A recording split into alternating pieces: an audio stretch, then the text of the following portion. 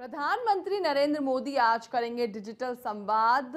Digital dialogue इस्तेमाल कर भेज सकते हैं सुझाव। रेडियो पर आम लोगों के साथ मन की बात करेंगे नरेंद्र मोदी जी हाँ।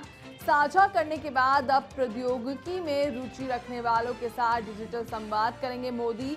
इस संवाद में सरकार के डिजिटल इंडिया कार्यक्रम पर चर्चा करेंगे। प्रधानमंत्री ने प्रौद्योगिकी में रुचि रखने वालों को डिजिटल इंडिया पर अपने विचार और सुझाव साझा करने को आमंत्रित किया है। इसके लिए वे हैश टैग डिजिटल डायलॉग का इस्तेमाल कर सकते हैं।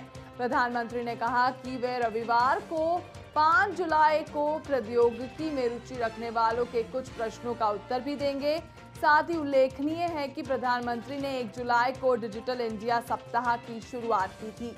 भारत को डिजिटल रूप से सशक्त समाज और ज्ञानपूर्ण अर्थव्यवस्था में परिवर्तन करने के लिए इस महत्वाकांक्षी कार्यक्रम की परिकल्पना की गई है।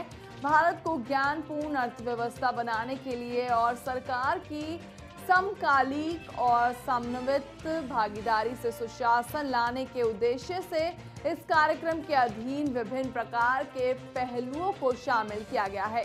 ये कार्यक्रम इलेक्ट्रॉनिक्स एवं सूचना प्रौद्योगिकी विभाग द्वारा विभिन्न केंद्रीय मंत्रालयों, विभागों और राज्य सरकारों के सहयोग से तैयार किया गया है और और समन्वित किया गया है। प्रधानमंत्री डिजिटल इंडिया की निगरानी समिति के अध्यक्ष में इसलिए डिजिटल इंडिया के अधीन गतिविधियों पर संविधान पूर्वक निगरानी की जा रही है। सभी वर्तमान और आगामी शासन पहलुओं को डिजिटल इंडिया के सिद्धांतों के अनुसार संशोधित और पुनः तैयार किया गया है। डिजिटल इंडिया कार्यक्रम के विजन का उद्देश्य इलेक्ट्रॉनिक सेवाओं, उत्पादों, विनिर्माण और रोज़गार के अवसरों आदि के क्षेत्रों में समग्र विकास करने का भी है।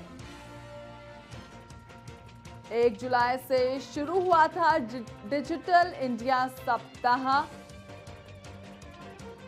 और आज डिजिटल डायलॉग की शुरुआत करेंगे पीएम मोदी।